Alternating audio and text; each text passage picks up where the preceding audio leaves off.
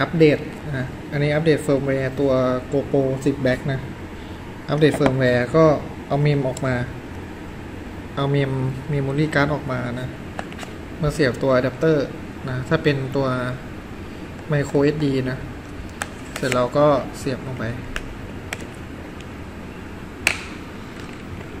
เสียบไปให้ขึ้นโฟลเดอร์ของเมมนะ ต่อมาก็ไปที่คอมพิวเตอร์นะ ไปทำงานต่อ พอเราเสียบนะครับ เสียบตัวเมมของ GoPro ไปแล้วนะ ก็ลองดูว่ามันขึ้นหรือยังนะ ก็รอให้มัน detect ขึ้นมาก่อน โอเค ตอนนี้มันก็ detect ขึ้นมาแล้วนะ ก็เข้าไปข้างใน อ่า ก็จะเห็นไฟล์กับโฟลเดอร์นะ ขึ้นมา คราวนี้เราไปดูที่เว็บ GoPro นะเขาก็บอกว่าให้ใส่เมมเข้าไป ก่อนหน้านั้นต้องโหลดไฟล์ก่อนนะ ดาวน์โหลดไฟล์อัปเดตก่อน เป็นอัปเดตเฟิร์มแวร์นะ โหลดไฟล์ออกมาก่อน เสร็จแล้วก็ ให้ไปที่ไดรฟ์ C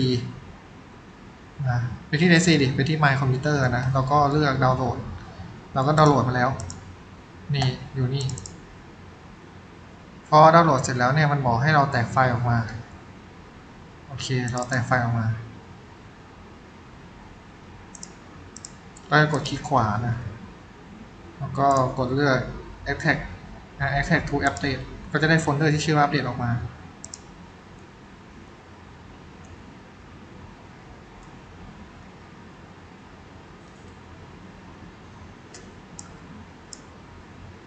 แล้วก็ให้ copy นะ copy ไฟล์นะ อัปเดตเนี่ยไปใส่ที่ GoPro copy ใส่ไปที่ GoPro ก็วางเลย ไฟล์ก็ค่อนข้างใหญ่เหมือนกันนะเนี่ย ใหญ่ใหญ่พอสมควรเลย วางที่โคโปเสร็จแล้วก็บอกให้เอาเมมออกมา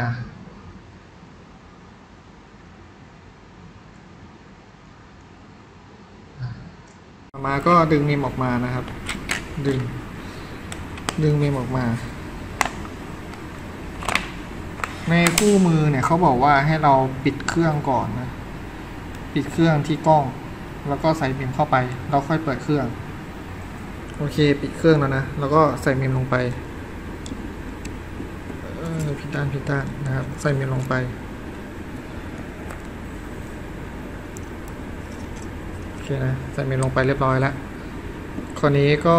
บอกว่าให้เปิดเครื่อง แล้วก็ต้องมีเนี่ยคำเตือนก็คือต้องให้มีแบตอย่างน้อย 20%ในการอัปเดตเปิดเครื่อง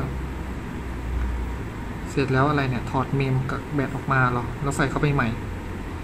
งงแฮะเดี๋ยวลองทำก่อน เปิดเครื่อง อย่างวะ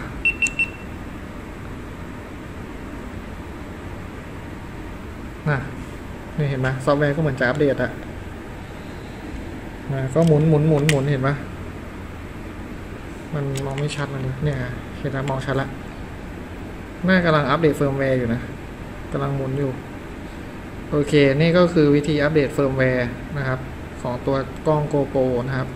ตั้งแต่รุ่น 8 9 แล้วก็ 10 Black นะครับ